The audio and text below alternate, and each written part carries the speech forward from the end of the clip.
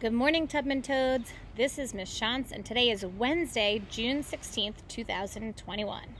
We will start with our Pledge of Allegiance, our Tubman Pledge, and our Tubman Mission Statement.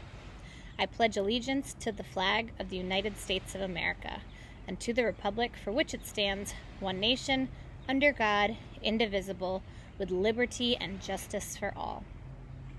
Our Tubman Pledge I will do my best today and every day. I will love and respect myself others, and my environment, I will have a positive attitude about learning and stay focused on my work.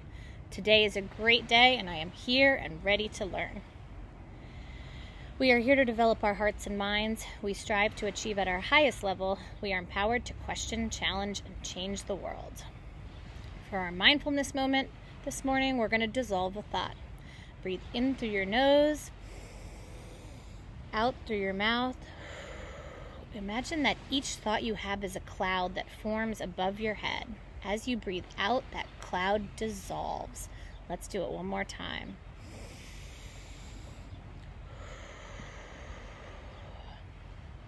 Great job.